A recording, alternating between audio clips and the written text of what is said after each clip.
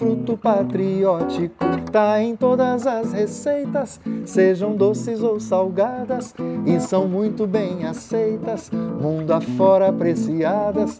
O sabiá, o canarinho e o atento bem te vi, tem o peito amarelinho de tanto bicar piqui. Catapique no cerrado, catapique, catapique no cerrado, catapique.